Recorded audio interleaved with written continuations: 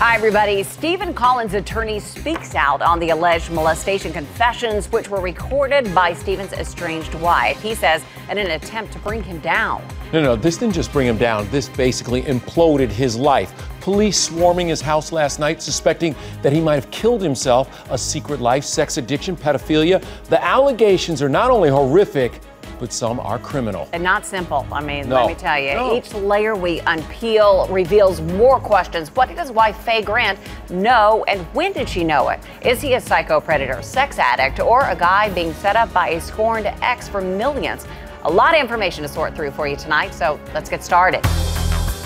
I hope it isn't true. But if it is true, this isn't a sex addiction.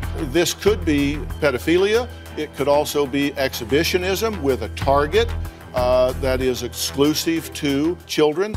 The alleged secret double life of the Seventh Heaven pastor doesn't end there. There is a report he was sneaked to his 10 year old victim's bedroom wearing only a towel. Another claim Stephen went through a 12 step program for sexual addiction and saw a therapist for the problem. And a source tells us there could be even more, including adult men. If the allegations about having sex with over 100 men uh, out in hotels when he was on location are true, that really has no legal bearing so long as that was consensual legal sex. It may be troublesome to a wife, but that's not a criminal matter.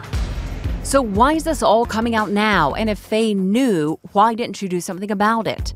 Unless Faye is a mandated reporter, she has no legal responsibility to report sexual assault at all. Collins' side is that this is all about money. His attorney told TMZ, quote, Faye has repeatedly threatened to give this audio tape to the media unless Stephen agreed to pay her millions of dollars, more than that to which she was legally entitled. It appears that she has finally found an audience for this tape, not surprisingly, on the eve of the trial in the divorce case.